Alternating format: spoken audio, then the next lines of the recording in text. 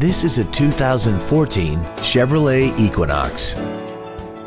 This crossover has an automatic transmission and an inline four-cylinder engine.